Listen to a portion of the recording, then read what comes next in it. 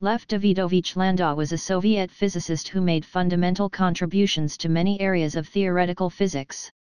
His accomplishments include the independent CO discovery of the density matrix method in quantum mechanics, alongside John von Neumann, the quantum mechanical theory of diamagnetism, the theory of superfluidity, the theory of second-order phase transitions, the Ginzburg-Landau theory of superconductivity, the theory of Fermi liquid, the explanation of Landau damping in plasma physics, the Landau pole in quantum electrodynamics, the two-component theory of neutrinos, and Landau's equations for S-matrix singularities.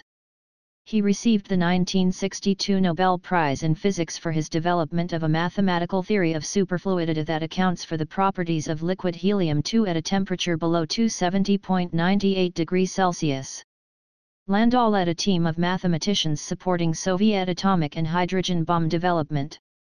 He calculated the dynamics of the first Soviet thermonuclear bomb, including predicting the yield.